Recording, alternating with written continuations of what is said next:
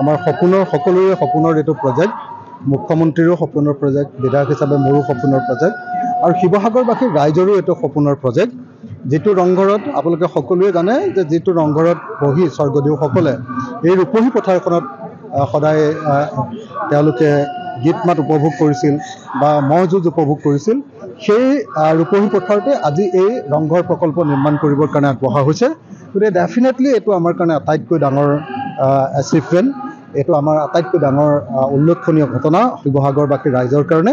আৰু শিৱসাগৰবাসী ৰাইজৰ হৈ মই বিধায়ক হিচাপে সেইকাৰণে আজি মুখ্যমন্ত্ৰী হিমন্ত বিশ্ব শৰ্মা ডাঙৰীয়াক আৰু অসম চৰকাৰক ধন্যবাদ জ্ঞাপন কৰিছোঁ। আৰু আশা কৰোঁ যে আমাৰ যিটো কাৰ্যকাল ওঠৰ মাহৰ ভিতৰতে আমাৰ প্ৰজেক্টটো কমপ্লিট কৰাটো সম্পূৰ্ণ হৈ উঠিব আমি কমপ্লিট কৰিব পাৰিম।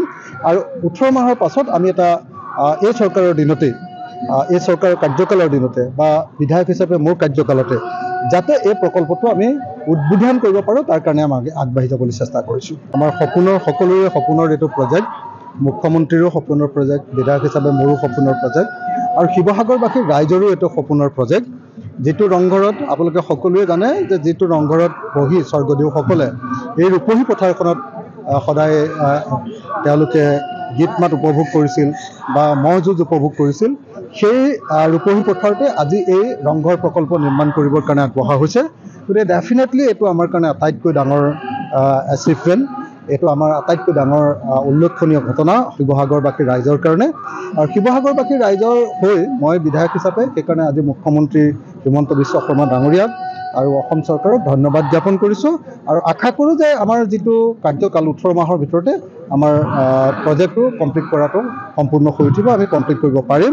আৰু ওঠৰ মাহৰ পাছত আমি এটা এই চৰকাৰৰ দিনতেই এই চৰকাৰৰ কাৰ্যকালৰ দিনতে বা বিধায়ক হিচাপে মোৰ কাৰ্যকালতে যাতে এই প্ৰকল্পটো আমি উদ্বোধন কৰিব পাৰোঁ তাৰ কাৰণে আমি আগে- আগবাঢ়ি যাবলৈ চেষ্টা কৰিছোঁ। আমাৰ সপোনৰ সকলোৰে সপোনৰ এইটো প্ৰজেক্ট মুখ্যমন্ত্ৰীৰো সপোনৰ প্ৰজেক্ট বিধায়ক হিচাপে মোৰো সপোনৰ প্ৰজেক্ট আৰু শিৱসাগৰবাসী ৰাইজৰো এইটো সপোনৰ প্ৰজেক্ট যিটো ৰংঘৰত আপোনালোকে সকলোৱে জানে যে যিটো ৰংঘৰত বহি স্বৰ্গদেউসকলে এই ৰূপহী পথাৰখনত সদায় তেওঁলোকে গীত মাত উপভোগ কৰিছিল বা ম'হ যুঁজ উপভোগ কৰিছিল সেই ৰূপহী পথাৰতে আজি এই ৰংঘৰ প্ৰকল্প নিৰ্মাণ কৰিবৰ কাৰণে আগবঢ়া হৈছে।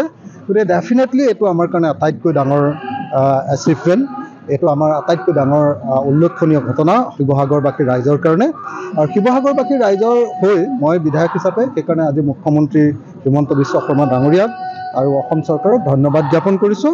আৰু আশা কৰোঁ যে আমাৰ যিটো কাৰ্যকাল ওঠৰ মাহৰ ভিতৰতে আমাৰ প্ৰজেক্টটো কমপ্লিট কৰাটো সম্পূৰ্ণ হৈ উঠিব আমি কমপ্লিট কৰিব পাৰিম। আৰু ওঠৰ মাহৰ পাছত আমি এটা এই চৰকাৰৰ দিনতেই এই চৰকাৰৰ কাৰ্যকালৰ দিনতে বা বিধায়ক হিচাপে মোৰ কাৰ্যকালতে যাতে এই প্ৰকল্পটো আমি উদ্বোধন কৰিব পাৰোঁ তাৰ কাৰণে আমি আগে- আগবাঢ়ি যাবলৈ চেষ্টা কৰিছোঁ।